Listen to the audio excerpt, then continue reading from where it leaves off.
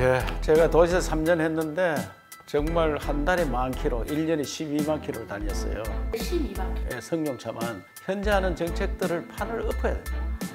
이대로 가면 은 수도권은 배 터져 죽고 네. 지방은 굶어 죽고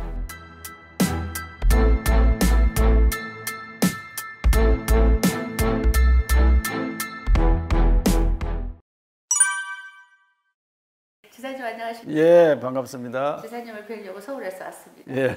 지사님 저희가 QR코드 전문 최고의 매거진이라고 아 해요. 그렇습니까? 예. 영상을 한번 찍어보도록 하겠습니다. 네. 탄유 총리가 백신을 구하기 위해서 백신 회사에 30분을 전화했다. 아, 제가 한 이야기가 나오네요. 어, 누구라도 이 앱이 있으면 다볼 수 있는 거네, 그죠? 랩 없어도 됩니다. 테라만 키시면 됩니다. 그래요. 네. 지사님 어쨌든 수도권과 비수도권의 불균형이 갈수록 참 심각하다고 하지 않습니까? 예. 지방 분권에 관련해서 지사님의 견해를 진짜 좀 듣고 싶거든요. 1년에 한 15,000명 정도가 청년들이 수도권으로 갑니다. 그러니까 우리나라 전체에서 한 10만 명 정도가 매년 수도권으로 청년들이 올려, 올라갑니다. 네. 그러다 보니까 수도권은 집값 문제를 잡을 수가 없어요. 결국은 지방을 살리지 않고는 수도권이 집값 잡을 수 없다. 어떻게 해야 되느냐. 이런 문제에 대해서는 정부가 더 가감한 정책을 하고 현재 하는 정책들을 판을 엎어야 됩니다. 이대로 가면은 수도권은 배 터져 죽고 네. 지방은 굶어 죽고 네. 우선에 대학이 문제입니다. 지금 대학 정책이 이대로 가면은 어, 벚꽃 피는 순서대로 대학 망한다 하잖아요. 네. 서도권 대학은 정원이 주는 학령 인구가 주는 만큼 정원을 줄여야 됩니다. 네. 지방을 살려야 돼. 미국 하버드는 어디에 있습니까? 30만 도시에 있습니다. 보스턴에. 구글이라는 회사는 어디에 있습니까? 샌프란시스코에서 한 10분, 20분 들어가는 8만 도시에 있습니다.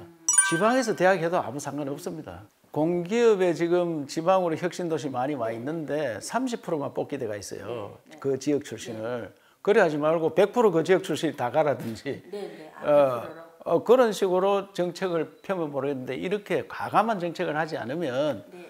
그 쉽지 않습니다. 그리고 앞으로 일자리를 지방에서 만들어야 된다. 네. 네. 꼭 전달되었으면 네. 좋겠어요. 지사님 사실 이거는 뭐 전국적으로 약간 뜨거운 이슈이기도 하지 않겠습니까? 예. 대구, 경북 통합 신공항 예, 예. 건설 어떻게 되고 있나요? 대구 경북 신공항 군공항 이전입니다. 원래 네. 군공항 이전이기 때문에 군공항 이전 특별법에 따라서 대구 경북 공항이 이전을 하는 겁니다. 네. 그리고 군공항이 오고 더부사리로 민간공항이 오는 겁니다. 아. 민간공항 만드는 돈은 한 1조 2천억밖에 안 됩니다. 네. 군공항은 한 10조 가까이 들고 네. 군공항 이전 특별법에 따라서 그 시설을 해놓으면 은 할주로 같은 거를 이용하면서 민간의 그 물류 시스템이라든지 그런 승객 시스템 이런 걸 만드는 거거든요. 공항 자체 만드는 건 문제가 없고요. 단지 공항으로 가는 길들 대구에서 승객이 가장 많을 거니까 거기에서 오는 철도, 고속도로 확장, 또 구미나 또 포항에서 오는 길들을 좀 만들어 달라. 이런 것들을 예타 면제해 달라 이렇게 요청을 하고 있거든요. 걱정 안 해도 된다. 이 말씀을 꼭 우리 도민들이 알아야 된다 생각합니다. 강력하게 한 말씀 하시죠. 예. 현재 해라 이렇게. 어, 가덕도 시- 신공항을 특별법으로 만들어서 그 관련된 것을 예타 면제를 한다는데 대구 경북 신공항도 가덕도와 똑같은 조건으로 어, 법을 만들어서 예타 면제를 했으면 좋겠다. 그렇게 하지 않으면 국민들의 저항이 있을 거다. 그렇게 생각합니다. 네. 지사님 제가 대구 경북 통합 문제에 대해서 예. 한 말씀. 그래서 대구 경북이 흩어진 지가 81년도니까 이제 만 40년이 됐습니다. 40년이 되고 그때 인구가 500만인데 현재도 거의 500만입니다. 어, 그러면 대구 경북이 헤- 흩어질 때 헤어질 때 전국 인구는 3,750만이었는데 지금 5,200만이 되었습니다. 그약 40%가 불었는데 우리는 제자리 곤배입니다. 똑같습니다 현재. 그 대구를 똑 띄놓고 밖에 가의 변두리만 가지고 있으니까 어렵다. 그렇다고 대구도 우리와 같은 이 땅이 많은 지역이 함께 있어야지 서로 윈윈 할 수 있는 게 많이 있는데 따로따로 있으니까 작은 것까지 서로 경쟁을 하고 그래서 대구 경북을 합치자 이러니까 광주 전남에서도 맞다. 우리도 합쳐야 된다. 부울경도 우리도 해보겠다. 그 다음에 대전하고 세종도 우리도 해보겠다. 이렇게 이제 전국적으로 이슈가 됐습니다. 아니 그게 살 길 아닙니까? 그래서 네. 대한민국이 지방자치한다 하면서 광역을 17개 조직화 하는 건 말이 안 되는 거예요. 그한 다섯 개, 여섯 개 정도 하면 맞습니다. 이런 통합 문제를 제기하니까 중앙정부에서 TF팀 만들어서 광역자치단체 통합에 관한 연구를 하게 되었다.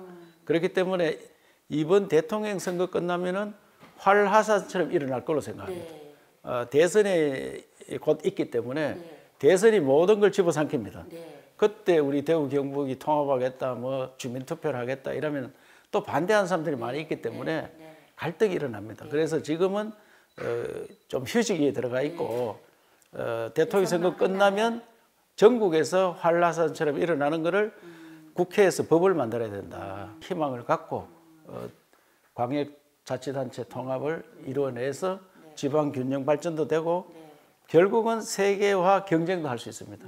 지사님 코로나 어려움 속에서 도민들에게 그래도 지사님이 한 말씀을 좀 해주시면 어, 작년 2월 달에 코로나가 발생했습니다. 어, 그때 2, 3, 4 우리 대구 경북에서 90% 발생했어요. 그래서 세계적으로 K 방역이란 자랑을 많이 했습니다. 왜? 4월 달 되니까 거의 끝이 나가고 네. 그래서 아 한국이 방역을 정말 잘한다 K 방역이다 이렇게 자랑을 많이 했는데 금년도 백신이 나오니까 방역 잘했다는 소리가 쏙 들어갔습니다. 왜? 그때도 제가 이야기했습니다. 한국이 K 방역을 자랑하는데 K 방역을 자랑하는 거는 경상북도 K다 그거는 왜? 우리가 많이 발생했는데 우리 스스로 조심해 가지고 양방전시 선비 정신으로 남한테 피해 안 주려고 직거해서 이걸 확산되는 걸 막았다. 외국에는 마스크 쓰라고 하니까 폭동이 일어나고 우리나라 국민들 마스크 얼마나 잘 씁니까? 그래서 국민이 잘해서 K 방역이다. 네. 어쨌든 경북 도민이 최고네요. 아 우리 경북 도민들이 남한테 피해 안 주려고 직거를 많이 했고 오인 금지 이런 거 없었습니다 그때는. 그래도 자발적으로 안 나갑니다. 그런 걸 잘했는데 에, 지금도 우리 도민들께 정말 미안한 것은 코로나를 빨리 끝나도록 백신 개발이나 이런 걸 우리 어, 지방 정부에서도 노력했어야 되는데 그 수준까지 못 가서 미안하게 생각합니다. 여러분들 어떻게 보셨습니까? 저는 지사님과 인터뷰를 하면서 아 경상북도는 걱정이 없구나 이렇게 정확하게 아시고 판단하고 또 추진하는 지사님이 계신다는 것에 대해서 여러분들 큰 박수로 함께 마무리를 하겠습니다. 아이고, 미안합니다. 수고하셨습니다.